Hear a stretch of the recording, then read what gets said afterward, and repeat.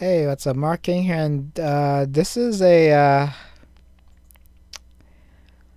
Oh boy, this is from earlier this year, but uh, yeah, I, you know, a grocery chain asked customers to report shoplifters of tampons.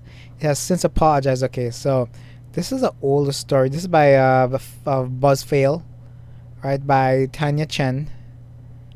Again, this is, this is something similar about oppression, yada yada yada microaggressions, and it's just like companies can't even protect themselves.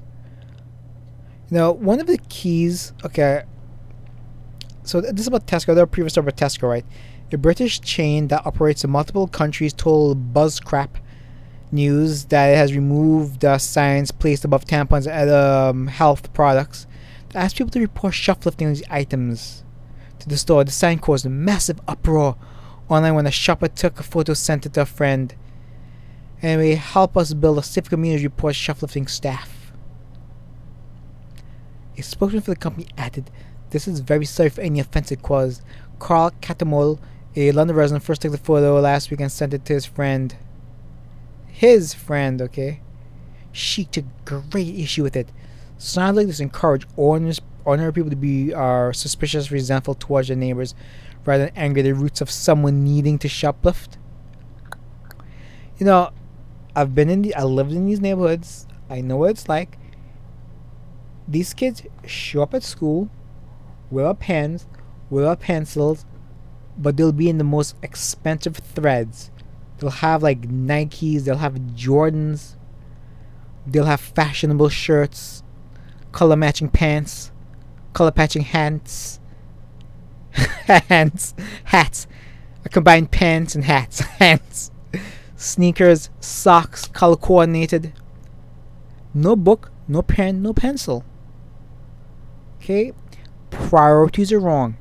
Okay, what the news media should be doing is calling these things out. Know, I was a big fan of Don Lemon. Yes, yes, he was actually normal back in like 2010 and 2012. The video got popular again. But remember the first time I like saw and liked Don Lemon when he's calling out the community for leaving trash on the streets, for not pulling the pants up. You know?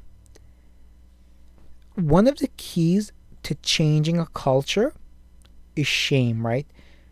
When you normalize um I'm saying this poorly when you normalize crimes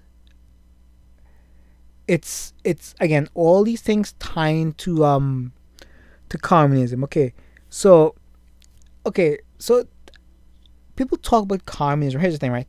Communism is used to destroy a nation right? Is communism tactics right? I'm i'm, I'm, I'm phrasing it i'm i'm phrasing it kind of poorly right? There's tactics to communism right but then under communism, those tactics get crushed. Okay? So those same so th- those same things that are used to destroy a nation, those people who destroy get crushed themselves, okay? As the old adage go, liberals get the bullet too. Same thing, communists get the bullet too. Because they're useful idiots when they serve their purpose, this person is serving a purpose. Okay, BuzzFeed. But BuzzFeed is serving a purpose. Okay? Once you see people go off the BuzzFeed and and it gets crushed, it means they serve the purpose and the masters are, are simply giving them the bullet. That's all it is the government can offer free condoms, then they should offer free sanitary products. you know, this person looked the way I expect. Okay?